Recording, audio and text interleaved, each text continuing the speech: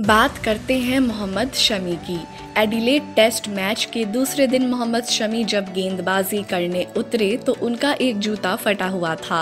ऐसे में हर किसी के मन में यही सवाल था कि आखिर शमी फटा हुआ जूता पहनकर मैदान में क्यों उतरे? तो चलिए इस राज का खुलासा कर देते हैं।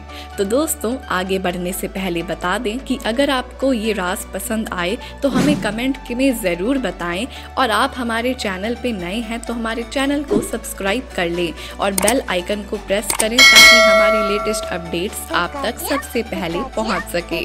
तो चलिए शुरू करते हैं। एडिलेट टेस्ट में फटा जूता पहनकर क्यों उतरे मोहम्मद शमी? पूर्व कंगारू खिलाड़ी ने बताई वजह।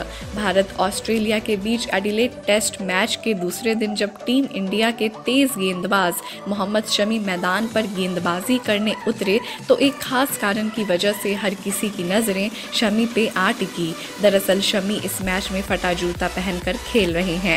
मैच के दौरान जब शमी के जूते पर कैमरा फोकस हुआ तो उनके बाएँ पर का जूता आगे से फटा हुआ था। ऑस्ट्रेलिया के पूर्व दिग्गज खिलाड़ी एडम गिलक्रिस्ट, मार्क वॉ और शेन वॉर्न कमेंट्री के दौरान इस बारे में बात करते हुए नज़र आए। शेन वॉर्न ने बताया कि मोहम्मद शमी का हाई आर्म एक्शन है। इसके चलते जब अपने एक्शन के दौरान वो बॉल को रिलीज़ करते हैं तो लैंडिंग के वक्त बाएँ पैर का अंगूठा जूते के अंदरूनी फ्रंट हिस्से से टकराता है और इससे गेंदबाजी करने में दिक्कतें आ सकती है। वॉर्न के मुताबिक इससे बचने के लिए ही शमी के एक जूते में छेद देखा जा सकता है, ताकि उनके बाएँ पर के अंगूठे को स्पेस चांस मिल सके। हालाँकि उन्होंने जोक करते हुए कहा कि शम्मी बल्लेबाजी के दौरान फटा जूता नहीं पहनेंगे, क्योंकि ऑस्ट्रेलिया के तेज गेंदबाज यॉर्कर बॉल से उनके हालातों को मुश्किल बना सकते हैं। ऐसे ही और भी कई खबरों को सबसे पहले पाने के लिए बने रहें हमारे चैनल के साथ।